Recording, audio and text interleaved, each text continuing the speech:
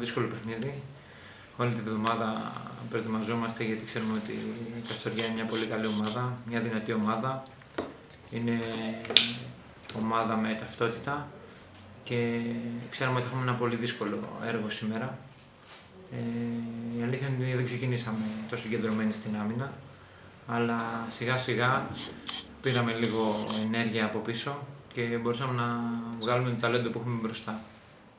Η συνέχεια για την ομάδα, Μιχάλη, ήταν μια σημαντική εκτός έδρας νίκη.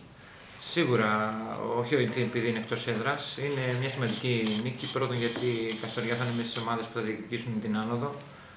Ε, και ότι όλοι, όλα τα παιχνίδια είναι τελική. Οπότε πάμε βήμα-βήμα για να κερδίσουμε όλα τα παιχνίδια. Οπότε όλα τα παιχνίδια είναι δύσκολα. Συγχαρητήρια καταρχήν στον Ηρακλή. Ήταν μια δίκαιη πιστεύω νίκη του Ηρακλή. Ε, θεωρώ ότι ήμασταν προετοιμασμένοι κατάλληλα από τον coach για αυτό το παιχνίδι.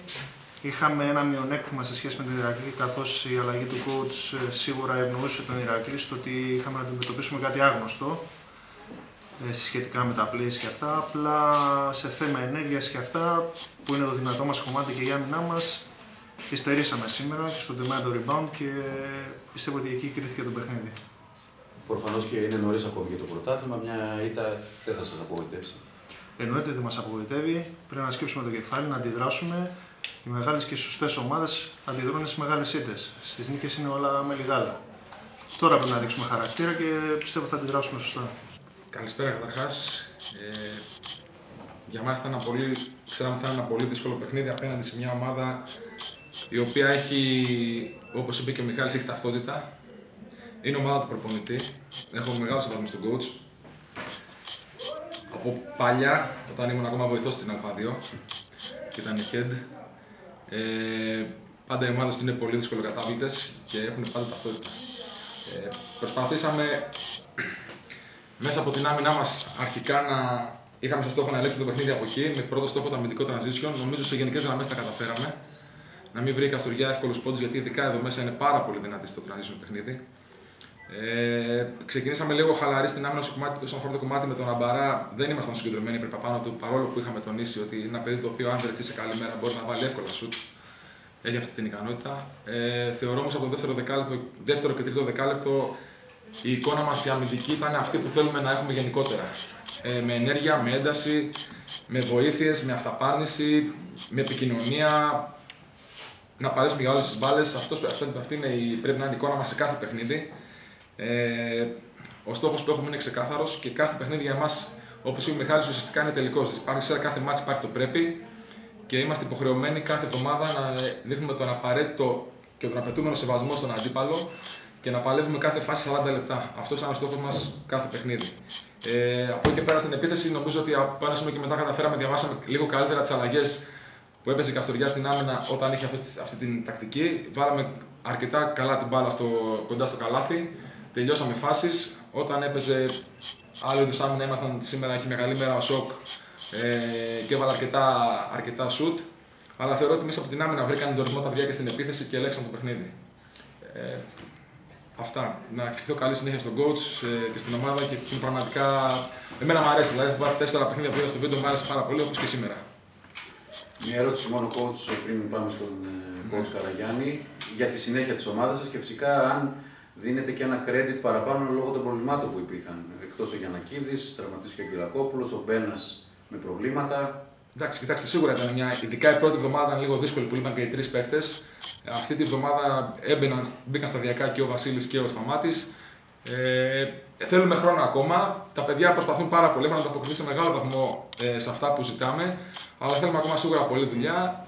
Θα δούμε κάθε παιδί ξεχωριστά και ελπίζουμε να συνεχίσουμε το, με την ίδια ανατροπία. Νομίζω η αφοσίωσή μας στο στόχο είναι αυτή που για μένα θα είναι το κλειδί της υπόθεσης.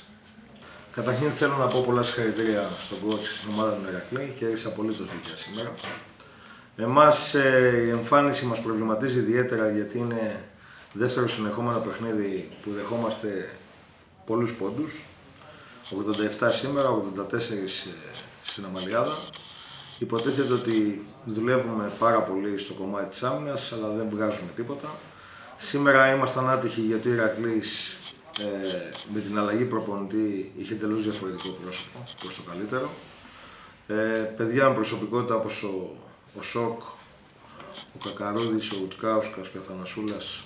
Αυτοί οι τέσσερις μας βάλανε 77 πόντους. Διαβάσαν πολύ καλά τα μάτς. Εμάς έχει δυσκολέψει η κατάσταση στην ομάδα μας.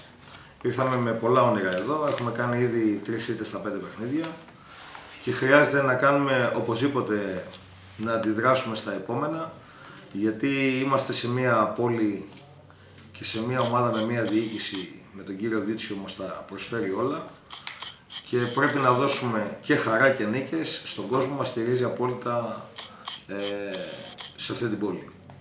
Ε, είμαστε, είμαι ιδιαίτερα στεναχωρημένος υπό την έννοια ότι περιμέναμε ότι σήμερα θα έχουμε ένα καλό αμυντικό παιχνίδι.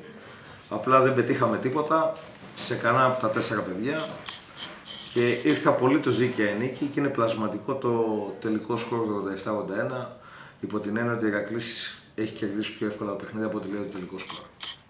Κότς, πιστεύετε ότι επηρέασε η διακοπή του πρωταθλήματος γιατί η ομάδα βρισκόταν σε μια καλή φόρμα; Καλή φόρμα μετά από ήττα δεν θα το λέγα. Γιατί από ήττα ερχόμαστε από τον κόρυβο. Ε, Καλή παρουσία. Στη διακοπή δουλέψαμε. Παίξαμε ένα καλό φιλικό στην Αγία.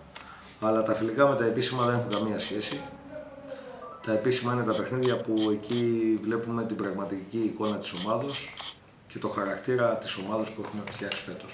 Δείχνετε να είστε αρκετά προβληματισμένο πάντως. Στη συνέχεια, πώς προβλέπετε, γιατί έχουμε επίση ένα δύσκολο παιχνίδι εκτός έδρας το επόμενο Σάββατο. Ναι, σίγουρα όλα τα παιχνίδια είναι δύσκολα. Αν ε, σκεφτούμε ότι παίζουμε στην ΚΟ, μετά έχουμε το Τριοπηδέα μέσα, τον Αμίντα έξω. Ε, βλέπουμε και τα αποτελέσματα που γίνονται στην κατηγορία.